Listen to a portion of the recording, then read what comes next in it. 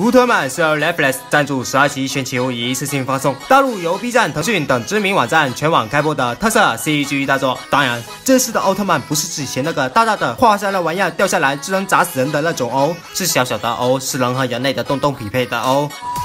这方的背景设定是初代走了以后，地球人时隔多年的又被外星人欺负了。这次危机之中，我们的奥二代男主角继承了老爹保卫地球的职责，变身成钢铁曼了。虽然身体变小了，但打起来跟以往的传统没太大变化，依旧是在击退外星人的同时，顺便时隔多年的与怪兽外星人联手，在帮人类拆楼的故事。这次的男主角初期的是名日本高中生，因为自个老爸单身时与外星人有神交过，还到处飞的经历，所以身为儿子的他日常沉迷跳楼，还具有天生神力，只需轻轻一握对方的骨头即可变形。哎，等等等等，堂堂一阶学生轻松重伤同龄人，哇，这不是绝大部分爱运动的日本高中生的正常操作吗？从小拥有猛科伟哥也达不到此等能力的二代，没有像漫威的主角们那样穿着性感紧身衣狂奔于街道之中，拯救人们于各种车祸抢劫，不知道有没有强暴之时，而是选择当了个平凡的日本高中生。哎，又是高中生！高中生到底得罪了业界什么？为什么那些拯救世界的破事都喜欢用他们呢？为了帮你们救世，看看这人都变成什么样子了。为了帮你们拯救世界，看看我们被迫牺牲了多少灾难资源。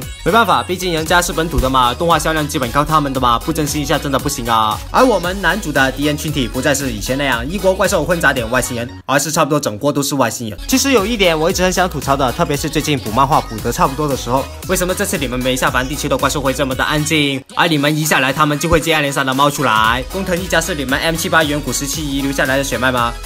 然而，在我稍微回顾一下盖亚的出场方式和他们之间的互殴，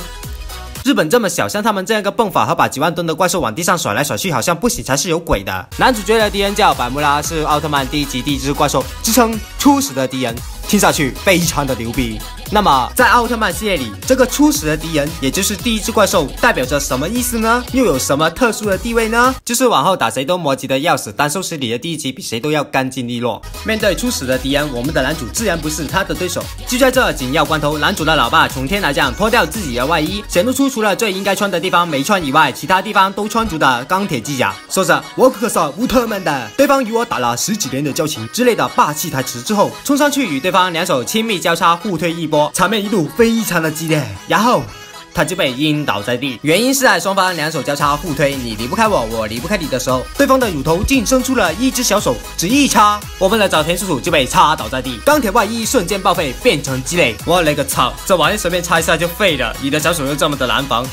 你们是怎么打上个十几年的？不过没关系，这次的男主毕竟不是早田树嘛，剧情需要的嘛，男主是需要刺激一下来爆发的嘛。于是我们的男主为了拯救自己的爬爬，决定出道特色，听黑科技队员叔叔的话，成为了奥特曼。那么我们的男主究竟如何才能变成奥特曼呢？是按照地球惯例先来个车祸激活吗？是传统的与外星人来个亲密接触再神交吗？还是先来个被敌人重伤，然后手术移植机甲维持生存，开始他的奥特生活呢？然而以上并没有，只见男主摆了一个明明大家不是同一个宇宙，却不知道为啥都喜欢举的一个姿势之后，就莫名其妙的变身了。哎呀，心疼连连被人歪歪出车祸的某人一秒。变身之后，外星人没有像之前那样与对方双手交叉，然后用乳头小手阴他，而是光明正大被打残之后逃走了。故事就此展开。总的来说，Netflix。这部钢铁曼相对真实，外星人不再像近年来的那些辆大老远跑来就为了陪地球的小孩子过家家了，而是真的进行侵略行为，对人类下手。戏剧特色感很棒，剧情久违的摆脱了子宫像的枷锁。比起近年来口碑越来越不理想的真人特色，